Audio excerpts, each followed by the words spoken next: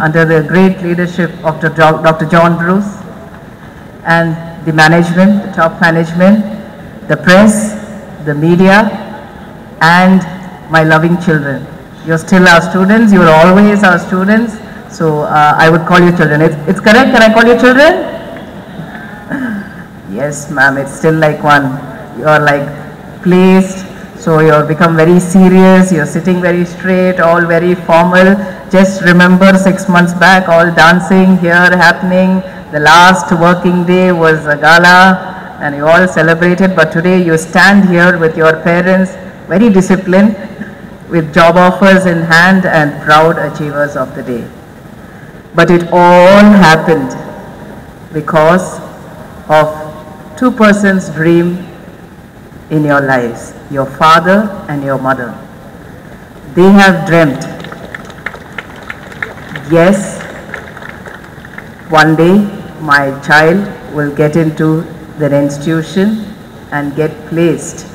At this moment, I would quote on every Achievers Day what my father, Dr. Jeppiaar, always, he tells us, he promises to each and every you hand over children to me. The first year, I will hand over them back as a disciplined child with job, with high collars back to you on this Achievers Day. So that is the legacy we follow and that is definitely the celebration of this Achievers Day where we had the man behind, I think today he is the man of the match, whom we celebrate always here. I think he, you all know he is our alumni. But today when he was going away, though the scenario was down, we had 300 companies recruiting our students, more than 2,000 plus students are placed. But I am happy to say out of the 300 companies, four companies are our own student companies. Our alumni who have recruited our juniors. It's really a pride that they come back and they have recruited you. That shows they have had a great vision in mind that not only they are job seekers but they are job providers. That is the dream that four children had had in mind and they have recruited you. Uh, my respects to them who have recruited you and also to the five visually impaired children who are sitting in the first row who have got into five IIMs. That is a great achievement of this batch they can hear you. You can give a big round of applause to them. You will be witnessing them on stage very shortly. Today is the day where you celebrate all your accomplishment of what you have done in all these four years, where you stood unique, where you utilized your time, where you studied well, where you reappeared for your examinations, stood outside laboratories, stood outside classrooms, that all has to happen. That is the university and college life. It all comes to a halt where you stand now responsible in front of the nation that you're going to work from tomorrow as a responsible citizen. But never forget your teachers. Whenever you come, they are always here, right from the first year to the final years. Not only the teachers, the supporting staff members, the drivers, the mess workers, the hostel workers, the coordinators, and all the block in charges. I think you should appreciate them with a big applause today. Be thankful to them always because they, our thoughts were always on you for these four years. These four years definitely would have made you a leader, but I would tell you, all of you should become job givers. Today you have got a job in hand, but try to become to create new startups, your own companies, so that you will be start to give jobs on your own. Today there is a vast opportunity from the governments as well as from the organization and from our university also to start your own startup, utilize it. Because always everybody will say, run for your life, run for your life. That everybody says right from school. Teachers would say, run for your life. Then, then you come and sit in college, teachers would say, run for your life. And even parents would say, run for your life. Yes, everybody has to run because, not because of the race, but to me when you run, uh, always keep for me that R represent, you always have to respect yourself and respect each and every individual you meet. The second U, U stands for utilize your time properly because usually we don't do that. Everybody is very much into the social world and seeing what other people are doing.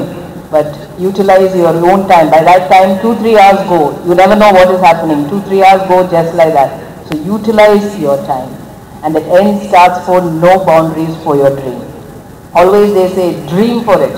But if you want to dream for it, you have to work for it. Correct? You cannot sit, somebody will not come and accomplish your dream. So if you have a dream, work for it. But beyond all this, to all you children who are going to face the world from tomorrow, you have to take proper rest. There are four important rests you have to take. First, social rest restrict yourself from the social media, restrict yourself more information. I think everybody is taking a lot of information and that's really good when you take a lot of information. Today our placement dean had given a lot of information to you. A lot of students who are being given scholarships also are sitting in front of you as achievers.